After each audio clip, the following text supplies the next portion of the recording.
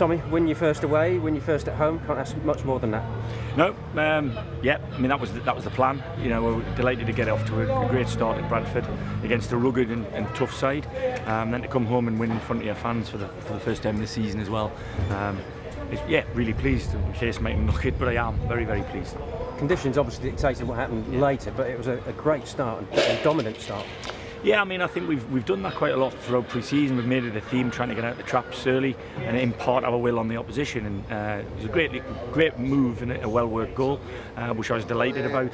And sometimes people say you do you can score too early, and sometimes you can. But but I, I just wanted us to go on, and it never never quite clicked to the end of the moves where we managed to get more goals. I thought we were more goals better than just two today well, certainly had it not been for their keeper, it would have been first half. Yeah, like I said, I mean, their goalies had a great day. Um, I think we've been a little bit profligate in front of goal, you know, and, and that's not just strikers, that's anybody.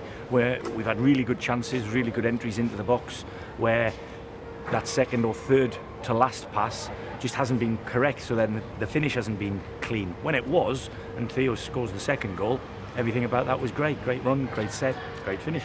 So, yeah, we got it right at least twice today, perfectly right. But um, I think we're just about out of a walk into a jog now, but I think there's more to come. Theo certainly deserved that. I mean, he was so unlucky first half. Yeah, I mean, he's got that. He's got that in his bag. He hit a great, great strike uh, in the first half. I thought it was in. He had, had to keep a beat, I think, but nearly bust the crossbar. But um, I had a little go at him at half time, so I didn't think he got on the ball enough. Um, and he did second half, and he stuck it right up me. And to be fair, to score a goal. So that's, that's good, good reaction to a, to something from the manager. Um, and that's what I want from all players. I want players to, whether they start or whether they don't start, they have to have a positive effect on the game. And, and, and he did have much more of a positive effect in the second half. And, and another clean sheet. Yeah, I mean, you know, good sides are built on clean sheets, and you know, touch wood, we haven't we haven't let, let many in at all throughout pre-season, uh, and the ones we have have been really identifiable in terms of one, two, or three mistakes on the way in. So, um, yeah, it's something that we pride ourselves on, and we, we work hard at. And uh, if you ask the goalie and, and the and the back lads particularly, but the whole side, they know if, if we don't concede a goal, we're obviously not going to lose a game. There was one change right in well at the interval. Was that uh, yeah. Jonah going off? Was that?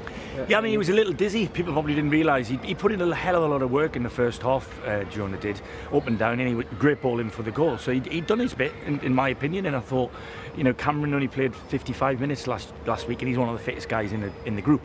So I knew we'd need legs and energy up and down the side sides of the pitch in the second half, and it was just a tactical switch. Like I said, he did feel a little bit dizzy with the weather and what have you, but uh, he's done nothing wrong, and you know he's likely to be involved again on, on Tuesday, I hope. But it's, I mean, you, you, you always wish for a good start in a campaign, and, and now you've certainly set the foundation. Yeah, I mean, it's it's important that you have a good start if you want, if you have any ambition to, to do well. You, you, the people who get off, off the blocks have got a head start. So I haven't looked at the results yet. I don't particularly do that much until Monday. Um, but I know we've got two wins in the column, so I'm not bothered what anybody else has done. I know you're critical, and we could hear you as well during the game. Any negatives as far as you're concerned?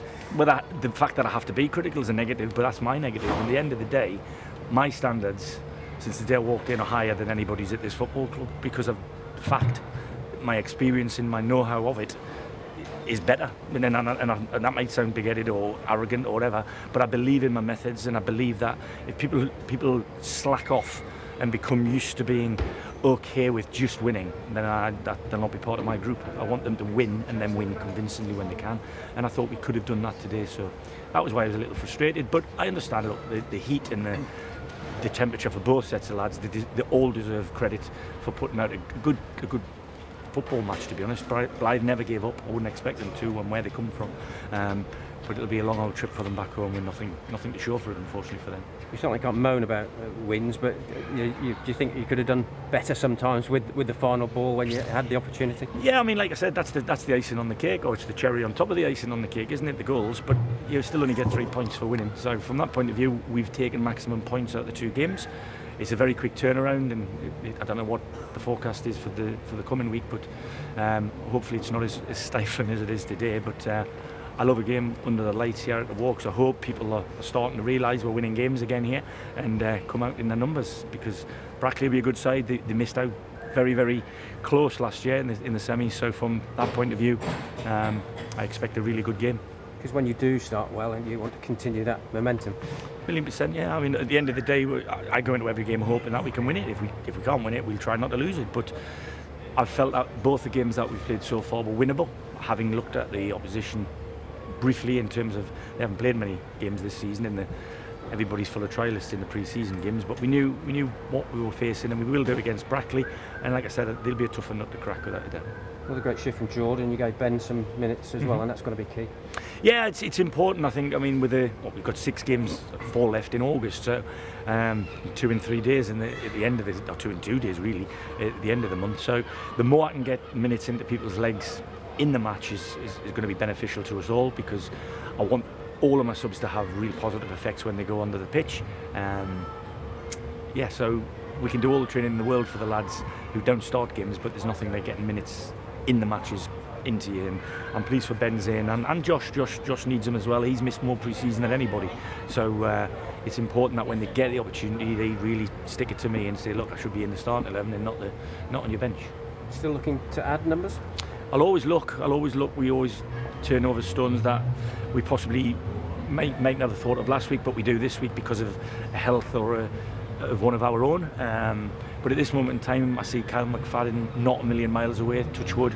I hope he doesn't have any setbacks, but he should be kicking balls very, very soon. That'll be like a new signing for us. Um, we are, we will be announcing one Monday, I would have thought. Um, but he's a youngster, it's a future one, but it gives us cover down the left-hand side at the moment. Um, and I've got one or two coming in to train this week which I'll be having a look at making decisions on fairly quickly so the answer to your question you can ask me every week I always will bring in somebody who's better than what we've got and then that person who's in the slot comes out of it then it's up to him to react in the right way uh, and try and win his place back. Just finally looking ahead to Tuesday, 800 odd here today. That'd be great to break a, a thousand during the week and, and get more well, in, more noise. Yeah, I mean, I don't know how many Blyth supporters we have, but fair play to them. I mean, it's a hell of a slap to come to come down here in, in the weather as well. But Brackley's not so far, so I'd like to think they'll bring a few, which hopefully will push the numbers up to over four figures. But um, I want Kings Lynn four figures. You know, if there are 10 Blyth Spartans, we should have 1100, 1200 here because we're, we're giving you winning football. That's what you want just backtrack to Jordan Ponticelli. Uh, yeah. Do you think he's probably the, the, the one that gold needed last season? I don't know. He got 11 goals last season. Goal. So he did. I know what you mean. I know what you yeah. mean. Yeah. I mean, he, listen. He's an he's a workaholic. He's a, he's an unbelievable um, asset to the group in terms of his his work ethic and his willingness to, to run away from the ball as well as to, to look after it when it comes into him is great.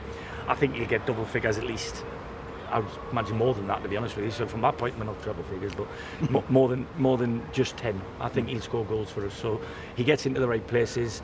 Um, I think he's enjoying his football. He's been given a bit of freedom to do what he, he does well. Whereas before, he's probably been coming off the bench at Wrexham replacing a really big signing saying right do this job for this period of time where he's been a little bit stifled so he's just again I used the, the phrase earlier about walking jogging running he's probably into the jogging a bit more than the rest of the lads I feel and he's, he looks more mobile and, and sprightly than a, than a few. But um, he as much as the other forwards all will play a part and I'm not bothered who scores. Today we've had two midfielders score. So again um, I love it when it gets shared around. I don't care who scores the goals I just what we do. You mentioned I think it was jogging and walking can't remember which way I just mm -hmm. walk slowly. Um, what do you expect Tuesday? First well, gear second gear well I expect we're going through the gears for me because I mean, it's difficult. Last last week was on a, on a plastic pitch, and it, the ball was slow. It was a dry, hot day there, and the ball was slow. Here it was a little more slick. Um, I think Tuesday night will probably be even slicker because of the. Hopefully, it'll be starting dusk and get a bit of water on the pitch. So the faster the pitch, I think the better it is for us. Um, want, you look, everybody knows the way we want to play. I think um, we've got to stop it. I think Mark Hughes was shouting, "Move it quicker." at one, well, there you go. two stages. Yeah, yeah. I think that he's, he's only reiterating what I was probably yeah, shouting yeah. in his ear also. yeah, at, at, the end of the day, we we understand um, where our positive um, assets are, and it's in movement, pace, mobility. Uh, but ultimately, we need the quality to provide for them people in them areas. And at times today it was excellent, and at times today it wasn't good enough. But that's the level of the football that we're at. So from that point of view, again, we've had to work hard to break down a very, very workmanlike side in Blyth. Um, and I know they're going through it a little bit themselves, having lost the manager the other day. But I wish them best, all the best for the rest of the season. And like I said, safe journey home.